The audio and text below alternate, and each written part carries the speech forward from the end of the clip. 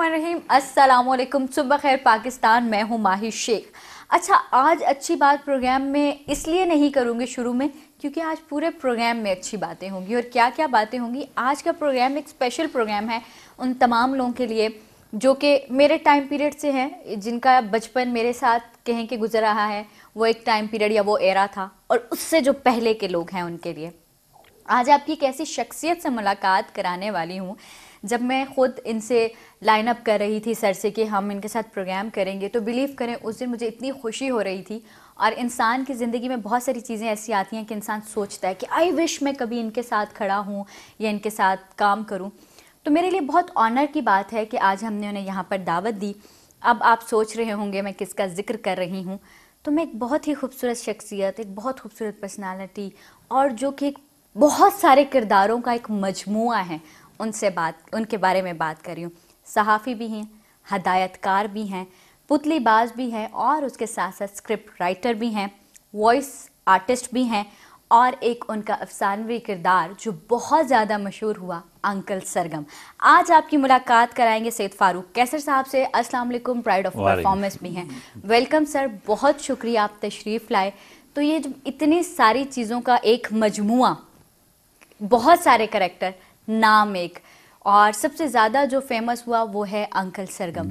तो अगर हम थोड़ा सा आपके बारे में जानना शुरू करें आपकी स्टडीज़ जो हैं वो बैचलर्स आपका फ़ाइन आर्ट्स में है मास्टर्स जो है वो ग्राफिक्स में देन ग्राफिक्स के बाद फिर मास्टर्स मास कम्युनिकेशन में। तो किस तरह से सोचा कि अंकल सरगम का एक किरदार और यकीन था कि इतना फ़ेमस हो जाएगा? आ, नहीं यकीन तो नहीं था बल्कि यूँ कह लें कि जब ये बनाया गया तो ये सोचा था कि ज़्यादा तीन चार प्रोग्राम या बहुत ही अगर चला भी तो तेरह प्रोग्राम के लिए बनाया था। हम्म। उसकी उसकी उसका सबूत यह है कि उसकी रफनेस से आपका अंदाज़ा होगा। कुछ ज़्यादा मेहनत नहीं करनी पड़ी। लेकिन ये हुआ कैसे? ये बना कैसे? मैं रोमानिया जब से वापस आया तो सेवेंटी फाइव में मैं के एंड में मैं वापस आया। तो अगले साल प्रोग्राम ये जनवरी में सेवेंटी सिक्स में शुरू हुआ। तो मेरे टीचर थे वहाँ पर रोमानिया में मिस्टर मोलनार। उनकी शक्ल काफ़ी मिलती है। हम्म। तो वो मुझे गिला करते थे बहुत लायक आदमी थे वो। कहते थे कि तुम मैं बड़े दुनिया सारी दुनिया में मेरे स्टूडेंट हैं तुम भी मुझे वापस जाओगे तो भूल जाओगे। तो मैंने फिर जब यहाँ आके प्रोग्राम डिस्कस किया वो हो अप्रूव हो गया। मैं लाहौर से वैसे करता आ रहा था अक्कड़ बक्कड़ हम्म। तो बीच में फिर हायर स्टडी के लिए मैं रोमानिया चला गया। वापस तो फिर जब ये प्रोग्राम शुरू किया तो उनको मैंने एक तस्वीर भेजी ब्लैक एंड वाइट में। अच्छा। अपने टीचर को क्योंकि वो टाइम पीरियड भी black and white black and white का था। सही। तो वो उन्होंने कहा कि ये तुमने क्या काम शुरू कर दिया? मैंने कहा जी ये एक फाइन आर्ट्स का ये ये भी ये उसका एक हिस्सा है। तो मैंने आपको याद आपने कहा था कि मैं भूल जाऊँगा तो अब याद रखने के लिए। बस वो मुझे पता नहीं था कि इसको फोर्टी फाइव ईयर्स तकरीबन पैंतालीस साल अभी भी है आने यार ये हुआ क्या? आ, बहुत लर्न किया इसको दौरान ही प्रोग्राम के। हम्म। मैं अकेला ही था मेकिंग भी मैंने की पपेट्स मैंने ही बनाए। फिर एक टीम बनाई। दो लोग थे फिर दो से चार हुए फिर कारवां बनता गया। हम्म। सिखाता भी गया और बहुत लर्न भी किया। और ज़्यादातर लर्न मैंने टेलीविज़न में तो खैर किया ही किया। वो प्राइवेट शोज़ में जो हम स्टेज शोज़ करते हैं हम्म। बच्चों के लिए बड़ों के लिए हम्म। उससे बहुत लर्न किया मैंने।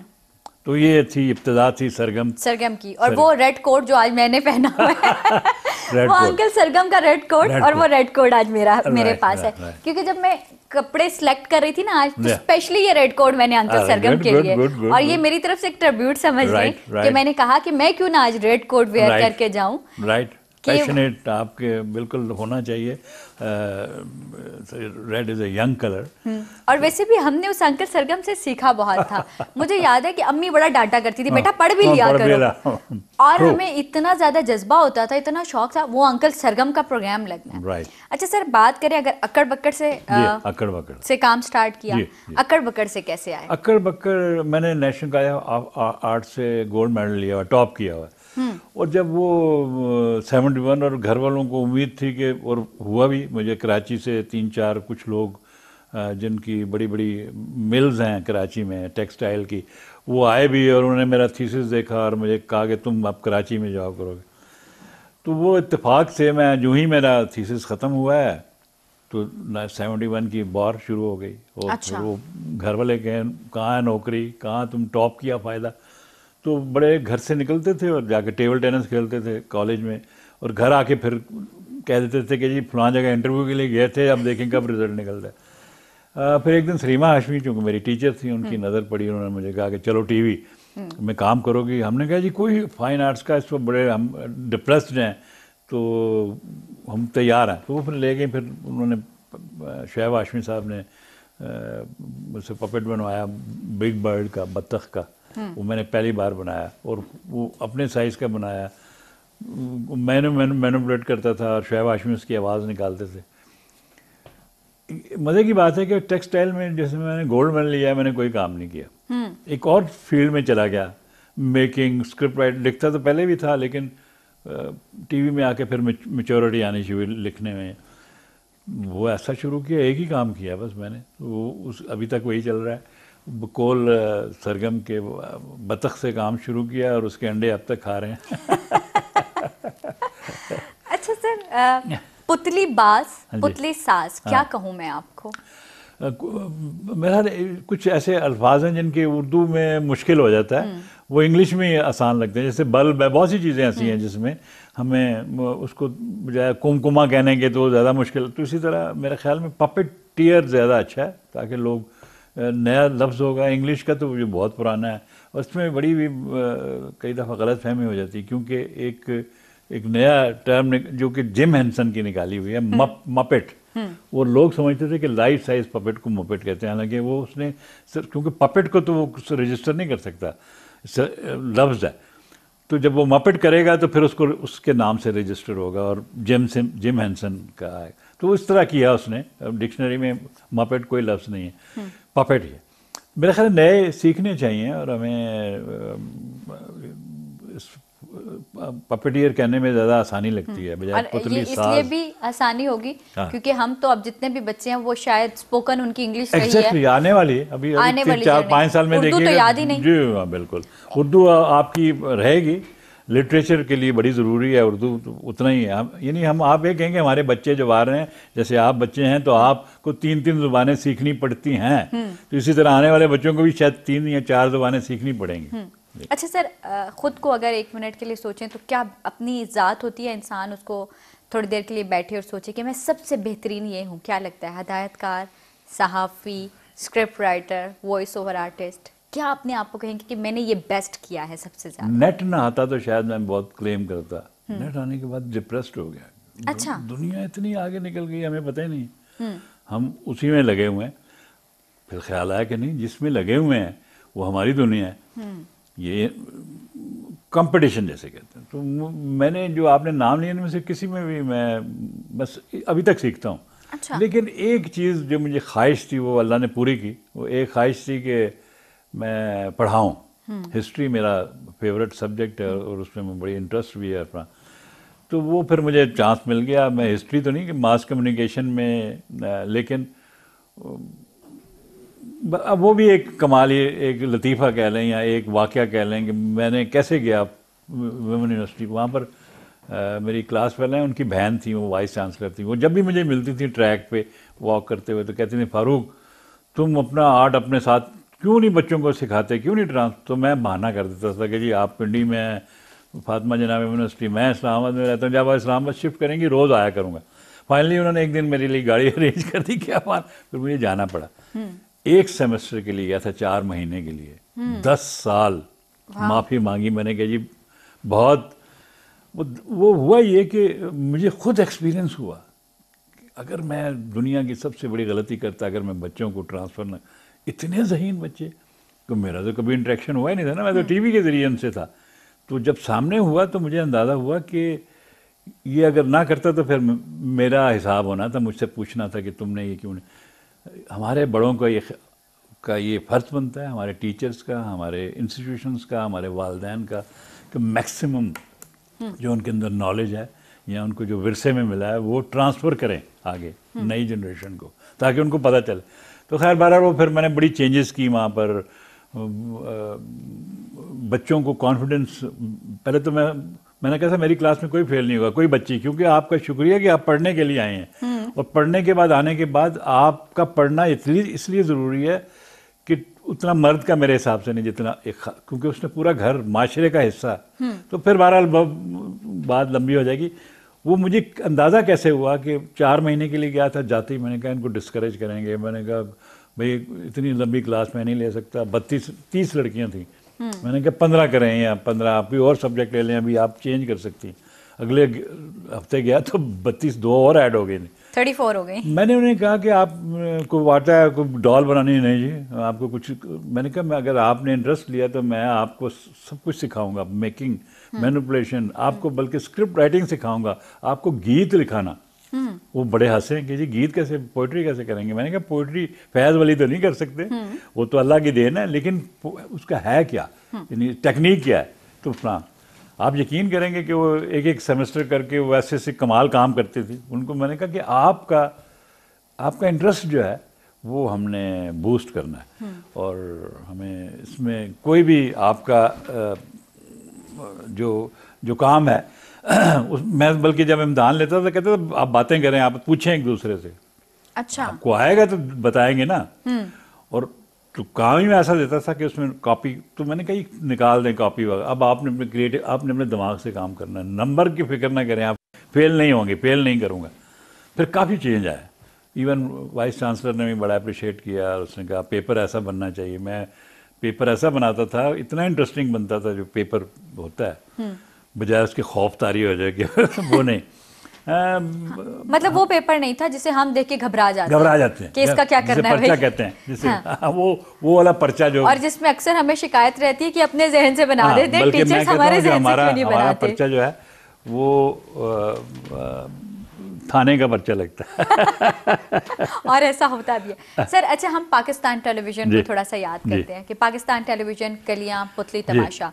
करेक्टर आया अंकल सरगम लेकिन साथ साथ मासी मुसीबतें भी मासी मुसीबते बोंगा रोला हाँ, हैगा हैगा, हाँ, हैगा और मासी मुसीबतें। ये ऐसे करेक्टर थे जो बहुत फ़ेमस हुए अंकल सरगम के साथ। अंकल सरगम के साथ मासी मुसीबतें की जगह कैसे आई? मासी मुसीबतें की जगह ऐसे आई कि देखिए खुद करेक्टर जो है एक ज़माना आता है कि वो फिर आपके हाथ से निकल जाते हैं लोग या व्यूअर जो देखने वाला है वो मैनुपलेट करता है उसको। वो चाहता है कि ऐसा हो। बड़ी मिसालें हमने एक प्रोग्राम में शादी करा दी सरगम की। हमें चार पाँच हज़ार ख़त मिले। हम्म। कि ये क्या कर दिया आपने फलाम फिर हमने अगला स्क्रिप्ट जो मैंने लिखा उसमें लिखा कि वो ख्वाब देख रहा था हम्म। यानी वापस लेना पड़ा। अच्छा। और भी बहुत से ऐसे वो खुद डेवलप किया उन्होंने। सरगम जो था वो बड़ा चूँकि लीड करता था सबसे सबको हुक्म चलाता था हमने कहा कोई एक ऐसी खातून होनी चाहिए जिससे ये भी डरता हो हम्म। तो वो फिर मासी क्रिएट किया मासी का नाम आ, मासी मुसीबतें नहीं वो सरगम कहता था उसको कि ये मुसीबत कहाँ से आ गई है और इसकी भी एक हिस्ट्री है जो घर में काम करती हैं औरतें तो वो मेरी अम्मी के ज़माने में तो हम उनको कहते थे कि ये मासी आती थी उन्होंने कहा वो मुसीबत फिर आ गई अच्छा। वहाँ के सारे मोहल्ले की हाँ। बातें आते हुए तो मुसीबत सारे घर के मोहल्ले की तो रिपोर्ट सबसे ज़्यादा exactly. को होती है। जबकि वो सबसे ज़्यादा पढ़ी लिखी मासी सबसे ज़्यादा अमीर है। हम्म। और आजकल के दौर की या जदीद दौर की जब भी आप तो उससे सब फिर सरगम भी डरना शुरू हो गया। फिर उन्होंने कहा कि इसका हमने एक सिम्बॉलिकली रखा कि इसका बस एक मुर्गा है जो कि उसको बहुत प्यार करती है और कहती है तो उसको दौलत के तौर पे बनाया कि इसके मुर्गे इस मुर्गे को काबू करोगे तो फिर मासी शादी करेगी। सही। तो इस तरह के बड़े अब तो फिर लोगों ने फिर इसको फिर डेवलप किया खुद हमारे बिल्कुल ठीक। हम क्योंकि कलियों की बात कर रहे हैं और ये हो नहीं सकता कि हम एक पैकेज उसका ना चलाएँ। हाँ जी, तो कलियाँ हम दिखाते हैं कि बेसिकली वो क्या है और देखें और ताकि वो सारा टाइम पीरियड पुराना याद कर सकें उसे। अंकल मेरी एक बात मानेंगे आप वो क्या बात है? अंकल मुझे पाँच रुपए दे दे। हम्म पाँच? लो फिर एक दो तीन चार और जब देखो पैसे माँगता जब देखो पैसे। और वो जो तुम पेट्रोल में हेरा फेरी करते उसका क्या हिसाब है? आप मेरी ईमानदारी पे शक कर रहे हैं कि और जो आप अपने रिश्तेदारों और वाकिफकार को मुफ़्त पेट्रोल देते हैं उसका कोई ज़िक्र नहीं। मुफ़्त नहीं भाई वो तो सरकारी दफ्तरों में बिल जो जाता है वो वापस ही नहीं आता पास ही नहीं होता। कमाल है वैसे ये पोस्ट का।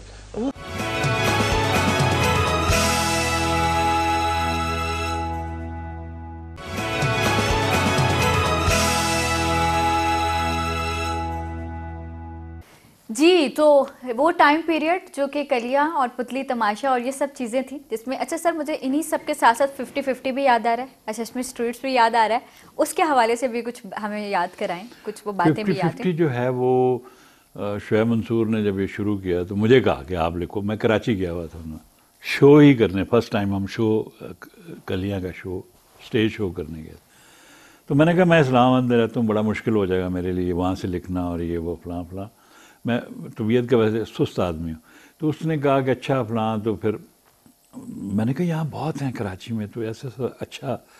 फिर उन्होंने मिल के आर्टिस्टों शाह मंसूर ने खुद लिखा पहला स्क्रिप्ट। हम्म। और फिर दूसरे फिर माजिद जहांगीर दूसरे बाकी फिर फाइनली ये अनवर मकसूद के पास आ गया जब अनवर मकसूद के पास आया फिर ये अरूज पे था हम्म। इधर कलियाँ अरूज पे था फिफ्टी फिफ्टी। तो हम ना प्रोग्राम के अंदर ही एक दूसरे पे चोटें करते थे हम्म। तंस करते थे और फला फला फला। वो उनका एक जो मुझे बड़ा पसंद है कि एक बंदे में कह रहे हैं बताओ राज क्या राज बताओ नहीं बताता। उसको कहते हैं उसको कलियाँ दिखाओ। कहता नहीं नहीं बताता हूँ साहब तो इसी तरह हम भी करते थे कि वो ब्लड ले रहा है मुख्तलिफ़। तो फला ये नहीं बचेगा ये नहीं बचेगा इसको कलियाँ का ब्लड लगाओ। तो फिर एक दिन हमें लेटर आ गया हेड क्वार्टर तो उन्होंने कहा ये आपका वालद साहब का प्रोग्राम नहीं है ये पीटीवी का प्रोग्राम है या आपने पर्सनल लड़ाई शुरू कर दी उसमें हम्म।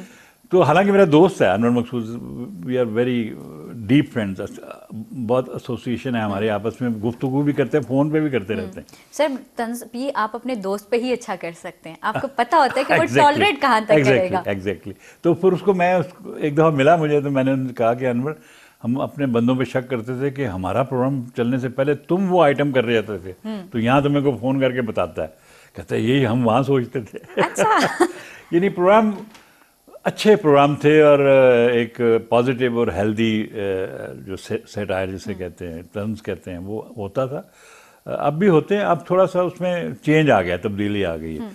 वो जो टाइम पीरियड या पीटीवी का वो एरा था जिसको आ। हर कोई वो एरा मिस करता है अब इनफैक्ट वो जो सेटकॉम्स बनते थे या वो ड्रामे बनते थे या वो मजाहिया ड्रामे लेते थे वो अब नहीं है या हमें नज़र नहीं आते। आप मेरी बात से इतफाक़ करेंगे? जी बिल्कुल करूँगा क्योंकि ये भी याद रखिएगा कि नया टेलीविज़न नई चीज़ हम्म। माशरे पे इस एंगल से पहले जो अखबार में होता था या कॉलम में हो गया या तो ये तो सब देखते हैं इसमें तो पढ़ाई की ज़रूरत भी नहीं।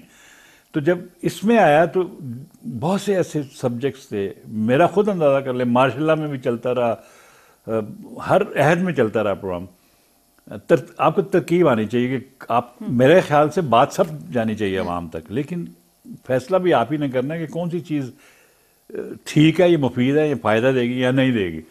सेंसरशिप की ज़रूरत सेंसरशिप हमारे जैसे मुल्कों में बहुत ज़रूरी है क्योंकि सेंसरशिप बताता है कि ये चीज़ नहीं जानी चाहिए उन्हें। यार फलां फलां फलां। तो मैं मेरे ख्याल में तो अब जो अब बहू अब जो आ गया अब हाँ, ये आ गया क्योंकि अब आपकी ओपन हो गया सारा कुछ इंटरनेट आ गया दुनिया में आप से आप मिल गए। हैं जैसे मैंने पहले कहा कि इंटरनेट दे, देखा तो डिप्रेशन होगी कि हम तो बहुत पीछे हैं। हम्म। तो ये आने के बाद ये फिर सारा कुछ चेंज हुआ। अब वो वाला जो जो शाइस्ता मिजा जो कहते हैं हम गुफ्तगु अब अब हमें हैरत होती है कि इतना स्लो क्यों बोल रहे हैं? मेरे बच्चे कहते हैं। अब वो इस तरह इस एंगल से देखते हैं। हमारे काम में था ज़माना बदल गया चीज़ वही रहती है।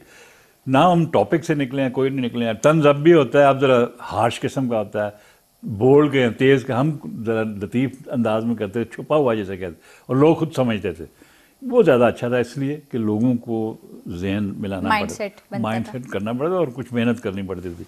अब आप चम्मच में रख के दे देंगे और फिर लाइक आर्टिस्ट की ना कोई सियासी पार्टी होती है ना होनी चाहिए। हम्म। ना आर्टिस्ट को वो आलमगीर है। हम्म। वो उसका फन जो है वो सारी दुनिया में देखा जाता है। हम्म। तो उसको सोचना चाहिए उसको राइटर को डायरेक्टर को कौन सी चीज़ आने और जानी चाहिए।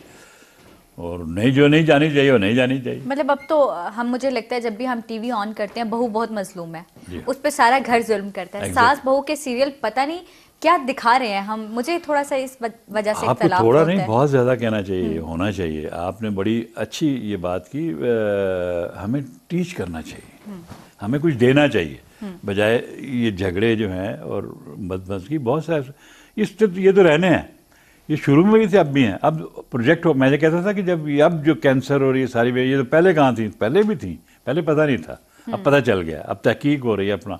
तो मेरे ख्याल में वक्त के साथ साथ हमें इसको तब्दील भी करना चाहिए क्योंकि अब जो जनरेशन आ रही है उसकी बैकग्राउंड और है कुछ उनकी पढ़ाई और है उनकी अप्रोच और है उसके आगे पूरी दुनिया के, टीवी या पूरी दुनिया के सामने उनको स्क्रीन पे नज़र आती है अब उनको धोखा नहीं दिया जा सकता। अब आपको आर्टिफिशियल अब अलफ लैला नहीं चल सकती। अलफ लैला चलेगी इस जमाने की अलफ लैला यानी कि अलफ लैला के किरदार वही रहेंगे जिन वही रहेगा जैसे हमने किया जैसे हमने कि हमारे इसमें होता है बच्चों के शो में एक हमने जिन बनाया हुआ है बड़ा पुराना है चालीस साल हो गए। वो जिन जो है वो इंसानों की तरह ही डरता भी है खुद भी। अच्छा। और क्योंकि बच्चों को दिखा रहे हैं ना आप तो बच्चों को हमने जिन का इम्प्रेशन नहीं देना है। कि वो कहने का मकसद है कि अब वक्त के साथ साथ आज की जनरेशन की जो नॉलेज है इंफॉर्मेशन आप बटन आप घर में गूगल को कहते हैं हे गूगल ये बताओ वो बता देता है सारी चीज़ें। फिर तो फिर क्या कौन सी चीज़ छुपाएँगे आप? और छुपाएँगे तो आर्टिफिशियल होगी। और बच्चों को शायद हमसे ज़्यादा पता हमसे ज़्यादा पता है। हमें शायद मेरा जो बचपन था उसमें मुझे ये चीज़ें नहीं पता, नहीं पता, थी, थी। जो अब बच्चों को पता है। हम हाँ। तो वो एनक वाले जिन से ही बाहर नहीं आते थे। है बिल्कुल सही ठीक है और अब तो बच्चों को साफ़ पता होता है कि ये किस तरह के करेक्टर बनाए गए हैं इसमें क्या फैंटेसी है क्या इसमें रियलिटी है। और एवन यहाँ तक कि घर के बच्चे तो ये भी बता देते हैं क्रोमा पे है या किस पे है? बिल्कुल सही। और हमारे टाइम पीरियड में हमें कुछ भी पता नहीं था। अभी आप देखेंगे जो हमें जो मिस करता हूँ मैं चीज़ें वो ये है कि हम कभी हमारे घर है ना हमारे घर में उसके बाहर एक छोटा सा बाग है वहाँ पर मासी और सरगम के ह्यूज 1907 नहीं 2007 या 8 में सीडी ने लग, लगवाए थे वो वहाँ पर बच तकरीबन एक सौ बच्चा रोज़ आता है उनकी गोद में बैठता है तस्वीरें उतारता है। एसोसिएशन जो है बच्चों की ये हमारे गो के पपेट कैरेक्टर हैं लेकिन नेशनल हीरो हेरिटेज बन गए हुए हैं। उस ज़माने से आज तक वो चलते आ रहे हैं लोग पहचानते हैं। हमने ये ऐसा कोई काम नहीं किया। ये बड़ी गलती ये इट्स वेरी बैड बच्चों को क्या देंगे हम? क्या बताएँगे?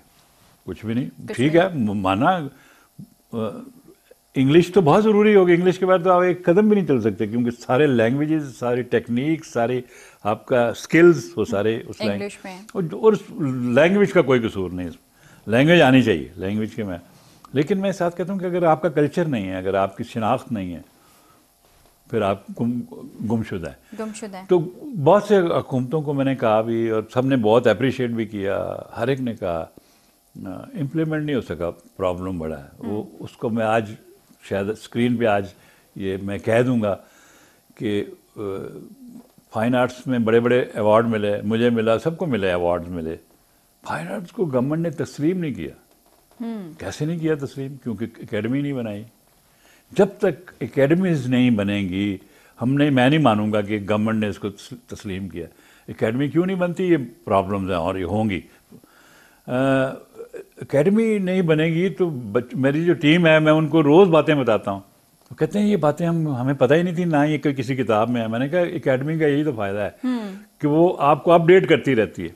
तो सबसे पहले मेरे ख्याल में गवर्नमेंट ऑफ़ पाकिस्तान को ये चाहिए कि सारे काम माना पैसों का बजट का सबका म- एक एकेडमी तो बनाए ना ताकि हम जैसे बंदे जो हैं जो रुखसत होने वाले हैं वो अपना कुछ ना कुछ इनपुट दें अच्छा सर ये इस पे मैंने बहुत दफ़ा बात की हाँ। उसकी रीजन ये है कि जब मेरा टाइम पीरियड था मैंने अपना रेडियो स्टार्ट किया मुझे उर्दू नहीं आती थी। मैं एक पंजाबी घराने से वही हमारे उर्दू पंजाबी पंजाबी, मिक्स ठीक है। तो मैंने यहाँ आकर बहुत हद तक सीखी। हम्म। लेकिन अभी भी मुझे लगता है कि मुझे उर्दू को सीखना है। तो मैं हमेशा एक बात कहती हूँ कि आपने जब अपने आर्टिस्ट संभाले ही नहीं तो आने वाली जनरेशन हाँ। किससे सीखे ऐसे, ऐसे। और इनफैक्ट ये बात मैं बहुत दफ़ा कह चुकी हूँ जैसे अब इशरत साकिब है उनकी न्यूज़ अब की न्यूज़ में कितना फ़र्क है हाँ। अब एक धाड़े मारती हुई और हाँ, चीखती चलाती चिल्लाती हुई हैं। है। नहीं पता और इनफैक्ट मैंने अभी बारह रबी अव्वल का प्रोग्राम किया तो मुझे सारी वो जबर जेर लगाने पड़े लगाने पड़े। लगाने exactly, पड़े कि किस तरह से ये आपको लाखों करोड़ों बंदे देख रहे हैं। देख रहे हैं और हमें नहीं पता। हम वो कैसे सीखेंगे जब हमें अपने बेहतरीन आर्टिस्ट हम तक पहुँचा ही नहीं गए अनवर right. मकसूद साहब हो गए आप हो गए फिर अनवर मसूद साहब हैं हाँ, और बिल्कुल। इस तरह के बड़े बड़े जितने भी आर्टिस्ट हैं जब हमें दिया ही नहीं उनको एक जगह नहीं दी एक एकेडमी नहीं दी तो आने वाली जनरेशन का क्या Right, कसूर? हाँ, वो हाँ। सीख ही नहीं पाई। हाँ। फिर इन्हीं सब चीज़ों के साथ मुझे याद है कि हम स्कूल में होते थे तो स्कूल की मुख्तलिफ़ एक्टिविटीज़ होती थी। कि हमें एक दिन स्कूल में बताया जाता था कि आज पपेट शो होना है स्कूल में। हाँ। और हम लोग के जहन में फ़ौरन आता था अंकल सरगम आ रहे हैं। मासूम True, सीपते आएँगी। हैगा आएगा। हाँ। अब वो चीज़ें क्यों नहीं नहीं है। वही वापस आ जाता है जिसको मैं कह रहा हूँ। क्योंकि दुनिया फैल गई है और इंफॉर्मेशन का अंबार लग गया है, लेकिन उसके अंदर खो गए हैं, बहुत सी चीज़ें खो गई हैं। मैंने कहा, मुझे एक पुराना वाक़ एक मिनिस्टर साहब थे मैं उनसे, उन्होंने मुझे बुलाया मैं तो कहना आपका कालम बहुत अच्छा है, ये फलाम है, उस कल्चर पे लिखा था। तो मैंने उनसे कहा कि, सर, ये जो मुझे से आप पूछ रहे हैं, अगर आप एक एक मैगज़ीन छाप देते, हफ़्ता, महीने का, पंद्रह दिन का वो मैगजीन में ही सारी खबरें आ जाती है जो आपने मुझे इतनी दूर से बुलाया है फलां। उसको आप उनको आइडिया अच्छा लगा। उसने कहा ये तो फिर तुम मैंने कहा नहीं सर ये बहुत हैं यहाँ आर्ट्स काउंसिल हैं यहाँ पर हेड भी हैं डायरेक्टर्स भी लगे हुए हैं। जिस पर मैंने मज़ाक से कहा कि डायरेक्टर्स बहुत हैं डायरेक्टर ही कोई नहीं है। तो डायरेक्टर्स जो हैं उनको उनकी किसी की ड्यूटी लगा दें तो वो छप जाएगा। वो कह रहे थे मैं अभी देखे आया हूँ एक आर्टिस्ट का नाम लिया कि उनको कोई बीमार हो गए थे तो तीन लाख रुपए दे के आया हूँ। ये पता ही नहीं है किसी को फलां फलां मैंने कहा तो इस तरह ही पता चलेगा ना जब आप कुछ चीज़ एक वो उन्होंने बड़ा अप्रिशिएट किया और वो इसको सिर्फ़ पंद्रह पंद्रह साल हो गए शायद। वो सिर्फ़ अप्रिशिएट हाँ अप्रिशिएट मैं अच्छा कहने का मकसद है फिर वही वही आ जाता है कि हम जब तक ये नहीं तय करेंगे कौन सी चीज़ को तरजीह देनी है। और क्योंकि लीड करने वाले हैं ना आप लीड करने वाली हैं आप स्क्रीन पे आती हैं आप लीड करती हैं। हमारे बेतहाशा लोग ऐसे ऐसे लोग पड़े हुए हैं मैं तो हैरान हो जाता हूँ। इनसे नहीं हमने लिया। हमने मेरा मतलब है आने वाली जनरेशन को। सही। देखिए ना सेवेंटी तक याद रखिएगा। सेवेंटी तक जितने बड़े थे रहे सीखते रहे सेवेंटी के बाद सेकंड लाइन ही कोई नहीं छोड़ी। नहीं आई। अभी भी हैं टाउन वो साइड पे हो गए हैं। इंटरेस्ट नहीं है। अब एक चीज़ याद है कि सीनियर आर्टिस्ट को ना पैसों की ज़रूरत होती है। सीनियर हो गया ना उसके बच्चे बच्चे बड़े हो गए हैं सारा कोई उसको एक ही चीज़ की ज़रूरत है उसको कहते हैं प्रोटोकॉल उससे गुफ्तु की करनी। है मैं तो अभी भी डांट देता हूँ टी, टीवी को फलां मैं आ जाऊँगा जी। अच्छा फलां आप कौन बोल रहे हैं? मैं जी प्रोड्यूसर का असिस्टेंट बोल रहा हूँ। मैंने कहा नहीं आ रहा मैं बिज़ी मुझे याद आ गया। फिर जीएम का फ़ोन आता है कि आप अभी तो कह रहे थे मैं हूँ तो मैंने कहा इनको बच्चों के सिखा सिखाना किसने? है मैं उसके प्रोड्यूसर से भी डबल उम्र का हूँ। हाँ। उसको फ़ोन करना चाहिए मतलब था। हमें भी बुलाने के लिए डर लग रहा था हाँ आपको। हाँ नहीं नहीं होना चाहिए। बस सीखें सीखना है ना। आपको बताया नहीं किसी तो आपका कोई भी कसूर नहीं। तो फिर उन्होंने कहा मैंने कहा मैं मैं तैयार हूँ आज। वो कह के तो अभी आप मैंने कहा मैं उनको सिखाना था ये। ये जब सिखाएँगे नहीं जब एकेडमी नहीं होगी जब आपको पता नहीं चलेगा आपने तो वही करना ना जो हो रहा है। जो ये इसलिए मैं कहता हूँ एकेडमीज बहुत ज़रूरी हर शोबे में फाइन आर्ट्स की। बाकी तो है हमारे पास। बहुत हैं लेकिन फाइन आर्ट्स जो है क्रिएटिव काम है। हर रोज़ एक क्रिएशन होती है इसमें। रोज़ एक नया प्रोग्राम रोज़ एक उसके लिए हमारे जो जो है ना सिखाने। और मज़े की बात है कि ये बंदे जिनको बुलाएँगे गन पॉइंट पे बुला लें इनको। जैसे मुझे बुलाया। गन पॉइंट पे ऐसे कि किसी को फ़ोन करना है आप कह दें जी हमें आना ही पड़ता है। आके जब आ, आएँगे अगर कभी साहब आ जाएँगे फिरदौस जमाल आ जाएगा अनवर मकसूद आ जाएगा ये ये पंद्रह मिनट बोलेंगे वो पंद्रह साल के बराबर होंगे। एग्जैक्टली exactly, बिल्कुल।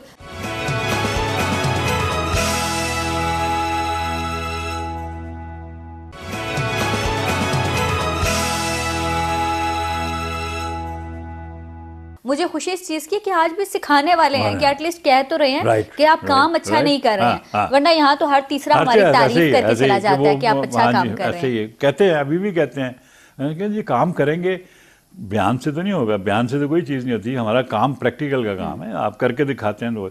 तो मेरे ख्याल में सबसे पहला पॉइंट इस प्रोग्राम शुक्र है, मुझे आज मौका एकेडमीज बहुत ज़रूरी हैं सरकार के लिए। इधर से पैसे काटे, उसे ले लें, हमसे टैक्स ले ही रहे हैं और ले लें। ये बनाएँ पहले। ये जो अब मैथ कम्युनिकेशन की लॉट आ रही है ना ये भी सीखना चाहिए ये भी एग्जैक्टली ये मीडिया साइंसेस हम पढ़कर कहाँ जाएँ? हाँ, हमें नहीं है- पता। exactly. अब इनफैक्ट मैं मैथ कम्युनिकेशन के बाद कहाँ जाऊँ मुझे नहीं पता। Exactly. हम चाहते हैं हमारे लिए अकेडमीज Right, हम सीखना right. चाहते हैं आप लोगों Right. जैसे। Exactly, exactly. अच्छा सर इन सब चीज़ों के साथ मुझे एक और बात बताइए ये जो आप कॉलम की बात कर रहे थे करेले कब से मीठे हो गए? कड़वी चीज़ को मीठी करके पेश कर रहे हैं। तो करेलों में चीनी डाल दें तो मीठा हो जाएगा लेकिन करेला नहीं रहेगा याद रखिएगा। करेले का एक अपना एक हुस्न है उसके कड़वाहट में के लिए मशहूर। मीठे करेले का मतलब है कि इधर भी है तो इधर भी है। अगर ये आपको कड़वा लग रहा है तो उसमें इसको खाना पड़ेगा आपको ये इलाज भी है आपका। तो मीठे करेले जो है वो एक बच्चे को दवा में चीनी डाल के जैसे देते हैं तो वो करेलों में को मीठा करके के खाएँ। आपका खाना ज़रूरी है। हाँ। तो इस इस एंगल से था मीठे करेले। क्योंकि जब मैंने पढ़ा तो बड़ा एक डिफरेंट सा मुझे लगा मीठे करेले? ये मीठे करेले Uh, कैसे हो exactly, सकते हैं? exactly. अच्छा फिर मैंने उसको पढ़ा भी इसलिए कि कोई रेसिपी तो नहीं थी हाँ, मीठे right, करेले right, की? right, हाँ, हाँ, अच्छा हाँ। सर इनके साथ साथ कुछ आपके जो पुराने ड्रामों की हम जहाँ बात कर रहे हैं वहाँ सियासी कलियाँ भी हैं। सियासी कलियाँ क्या चीज़ थी? एक चैनल चैनल ने मुझे चैनल ने कहा कि जी आप वही प्रोग्राम करें बड़ों के लिए करें। मैंने कहा वो हमारा काम बच्चों को था ही नहीं कभी। हम फैमिली प्रोग्राम होता था सारी फैमिली देखती थी। अब भी वही है मैंने बच्चों को प्रोग्राम किया ही नहीं कभी चूँकि स्लॉट बच्चों का था तो उसको बच्चों का ही समझते रहे। तनकीद उस पर बड़े करते थे। सेंसर बोर्ड जो टीवी का है वो बड़ो। तो मैंने कहा हमने एक फैमिली प्रोग्राम बनाया तो मैं तो पॉलिटिकल करता नहीं। तो उन्होंने कहा कि फिर वो बड़े मायूस हुए। उन्होंने कहा कि इसमें पोलिटिक मैंने कहा पोलिटिकली हम सोशल सटायर करते हैं उसमें पॉलिटिक्स अगर आ जाती है तो कभी आ जाएगी लेकिन वो वाली नहीं जो आप चाह रहे हैं कि उसको गाली दें उसको अपना ये नहीं हमारा काम। हमने ये करना भी नहीं मतलब आजकल वाले टॉक शो नहीं है। नहीं है। तो खैर जी उन्होंने कहा कि फिर क्या फिर उन्होंने खुद इसका नाम सजेस्ट किया कि सियासी कलियाँ रख लेते हैं ताकि तो हम प्रोग्राम तो यही था। उसमें कवालियाँ सुने उसमें गाने सुने आप हैरान हो जाएँगे। क्या बताऊँ उन्नीस सौ तिरानवे की नज़में कवालियाँ लिखी हुई हैं मुझे फ़ोन करते हैं लोग कमाल है जी ये तो नया लिखा आपने मैंने कहा ये तुम्हारी पैदाइश से पहले का है। तो हालात तो आप आज के लिखे हुए हैं मैंने कहा हालात तो हमारे बदले ही नहीं कभी तो अब स्क्रिप्ट तो बदला ही नहीं तो हम कैसे बदल सकते हैं? वो जो बातें लिख दी जो लिख दी जो कर दी जो हो गई वो अब भी हैं अभी भी चल रही हैं। और डार्क टाइम डार्क टाइम एक डिफरेंट चीज़ थी। ये या, ये भी याद रखिए। बड़ा अच्छा भी रास्ते में आपके प्रोड्यूसर बड़े अच्छी बात कर रहे थे कि आर्टिस्टों को जो मजबूरन काम करना पड़ता है हमारे यहाँ क्योंकि रात की रोटी लेके जानी है खाना उसने तो उसको काम करना पड़ता है। तो जब बीच में एक टाइम आ गया ना टीवी से काम हो रहा था ना कुछ तो किसी ने कहा कि एक नया चैनल खुल रहा है हमारा तो आप उसमें काम करें और नया आइडिया मेरे ख्याल में पाकिस्तान टेलीविज़न के बाद ये एस टी एन ओपन हुआ था जिसमें ये डार्क टाइम था। एसटीएन के के भी बाद में ये ये आया डार्क टाइम एसटीएन पे चलता था। जी वही कह रही हूँ ना ये तो पाकिस्तान प्राइवेट टेलीविज़न के बाद था तो उसमें चले गए उन्होंने कहा जो आपका जी- चाहे तो हमने आइडिया दिया उनको अच्छा लग गया।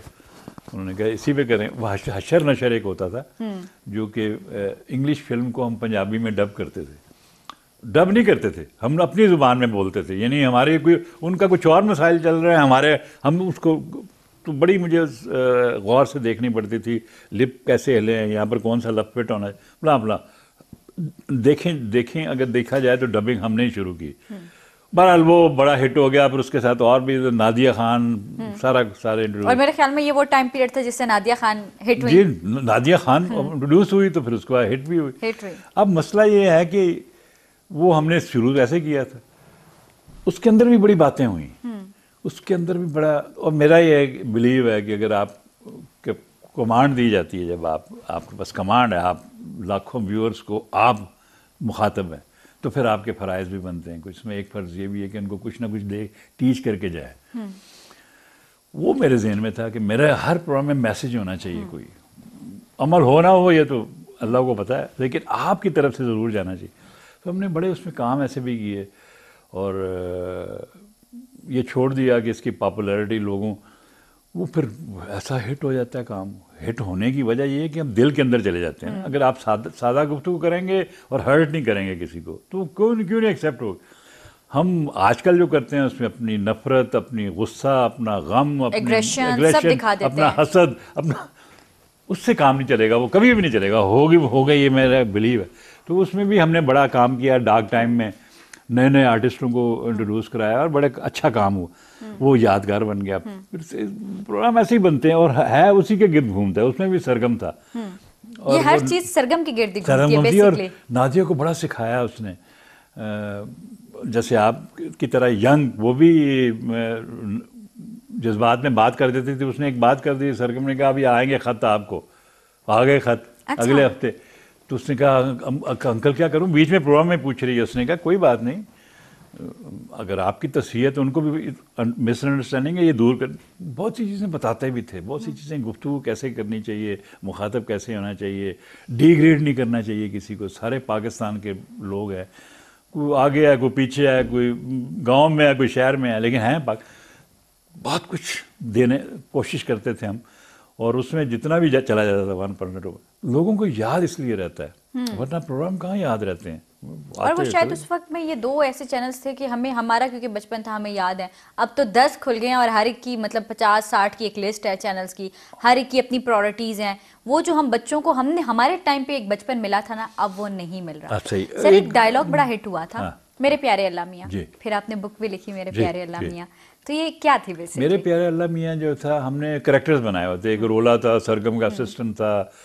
इसकी भी अपनी कहानियाँ होती हैं। वो वो एक लड़का था वो कहता था सबको आप लाइव लाते हैं पपेटियर्स को। मैंने कहा बेचारे मेज़ के पीछे काम करते रहते हैं करेक्टर तो उनको आना भी चाहिए। क्योंकि काफ़ी सीज़न हो जाए सिखाया तो मैं नहीं था उनको। तो वो मैं उसने जी मैं नहीं आता। मुझे मैंने कहा तो अगर तुम्हारा मैं करेक्टर अगर ऐसा पॉपुलर कर दूँ कि तुम हर वक्त मेरे साथ रहो तो उसने बहुत हमने shows international England Sweden Holland कहाँ कहाँ किए मेरे साथ रोला ही होता था। अच्छा। इवन बड़े बड़े लोगों के साथ even president of Pakistan even prime minister of Pakistan के सामने वो इतना हिट हो गया। वो सरगम के साथ रहता था। पहले हैगा था याद रखिएगा। हाँ। हैगा के फ़ौरन बाद रोले ने लिया। मेरे प्यारे अल्लाह मियाँ जो थे ना हमने फिर करेक्टर बनाया उसमें एक सादा बनाया बोंगा उसका नाम रखा। कि वो बोंगी बात लोग कहते हैं बोंगी लेकिन वो बात से नहीं करता था वो। वो क्वेश्चन करता था कि मेरे प्यारे अल्लाह मियाँ दिल मेरा हैरान है मेरे घर में पाका है तेरे घर में नान है मैं भी पाकिस्तान हूँ तू भी पाक वो इस तरह की बात करता था। बात सिंपल उसमें भोंगा नाम उसका लेकिन बात अंदर की करता था। तो फिर करेक्टर खुद डेवलप होते गए उसमें भोंगा मेरे प्यारे अल्लाह मियाँ वो सारी कलेक्शन टीवी की है उसको फिर किताब की शक्ल दे दी।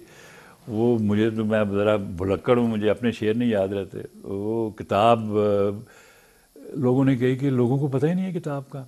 मैंने कहा पता कैसे होगा? मैंने ना मैंने इसकी पब्लिसिटी की ना कुछ। मेरी कुछ छः किताबें हैं जो छपी हुई हैं।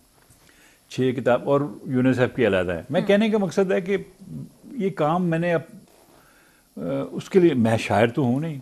मैं उन लेकिन मैं- नज़में बहुत अच्छी लिखी नहीं हैं नज़म। अच्छी लेकिन जब उनकी पोइट्री में देखता हूँ जब मैं सुनता हूँ या अमजद इस्लाम अमजद हैं फैज़ बहुत बड़े बड़े फैज के साथ तो काम भी किया आपने। जी तो क्यों फिर मैं उनका मुकाबला तो नहीं कर सकता करी? तो इसलिए मैंने इसकी पब्लिसिटी नहीं की अपने दोस्तों के लिए अपने लिए है किताब।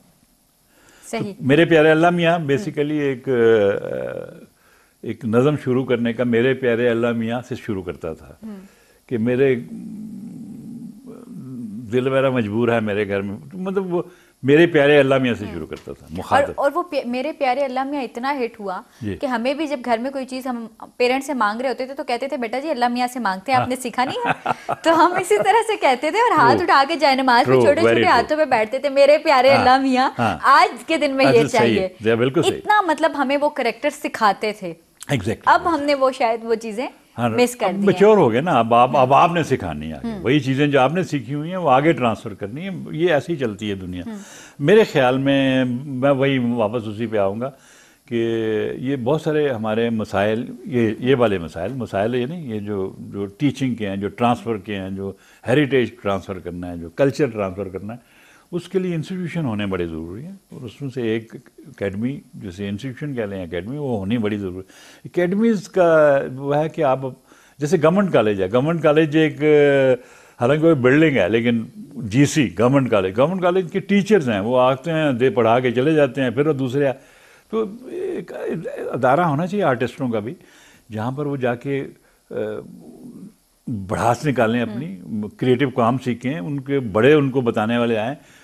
और ये भी याद रखिएगा कि वो बड़ा कह, कहेंगे भी बुज़ुर्ग जितने बड़े आर्टिस्ट और दानश्वर हैं ना वो कहेंगे नहीं नहीं मेरा बस मैं अब आप उनको लाना पड़ेगा आपको। लाना पड़ेगा और जब वो आएँगे और वो पाँच मिनट बोलेंगे बस वो पाँच मिनट आपको कहीं नहीं मिलेंगे। तो इसलिए फिर मैं एक बार ज़ोर दूँगा कि ये होना ज़रूरी है। हालाँकि अभी हम इस्लामाबाद की बात करें तो यहाँ पे पाकिस्तान टेलीविज़न ने एक एकेडमी तो बना दी है लेकिन वो हमेशा वीरान ही नज़र आती है। अकेडमीज वो उनके अपने प्रोफेशनल प्रोड्यूसर्स के लिए है। मैं तो उससे भी आगे बात कर रहा हूँ ना कि फनकार आर्टिस्ट नया आर्टिस्ट है उसको उसको क्या आपने क्या उसी जगह को इनको अच्छी तरह से नहीं यूटिलाइज करना चाहिए? कि उनके पास इतनी सारी जगह है तो उसी में कुछ हमें मुझे लोग कहते थे अभी भी कहते हैं। बुशरा अभी कहाँ किस ठंडे शहर में आप रहते हैं कराची? मैं उन्हें कहता था कोई ठंडा वंडा शहर नहीं है यहीं से आर्टिस्ट देखो ना कैसे निकाल। नज़र होनी चाहिए आप सिलेक्शन इस ये क्या कर सकता है? और उस पर रियायत भी नहीं करनी चाहिए कि ये उसको ऐसे बड़ा काम दे दिया। उसको वही काम देना चाहिए जो आपकी नज़र ने देखा कि ये काम कर सकता है। मैंने जितने भी आर्टिस्टों को इंट्रोड्यूस कराया बहुत बड़ी टीम है मेरी वो करते हैं अभी भी काम करते हैं। यही चीज़ें सिखाई उनको और एकेडमी भी ऐसी करती है। एकेडमी में भी आप जब जाते हैं आपने सीखना नहीं सीखना तो नहीं सीखना नहीं पढ़ना तो नहीं पढ़ना स्कूल का उसका हर्ज नहीं है। लेकिन पढ़ाना ज़रूरी है बताना ज़रूरी है वरना फिर यही शिकायत करेंगे कि हमें तो बताया कुछ नहीं आसान तरीका मैं कर, मैं कर रही हूँ शिकायत सरेआम कर रही हूँ। और यहाँ इसी चैनल पे बैठ के कर रही हूँ कि हम जो जनरेशन आई हमें सिखाया ही नहीं। हाँ, हाँ, हम मिस करके वो सब चीज़ें पपेट का करेक्टर कहीं गुम होता चाह रहा है। हम चाहते हैं कि ये ज़िंदा रहे और हम ये भी चाहते हैं कि हमेशा लोग अंकल सरगम को इस पपेट से याद रखें। अपना ख्याल रखिएगा। अल्लाह हाफिज एंड फ़ी अमान अल्लाह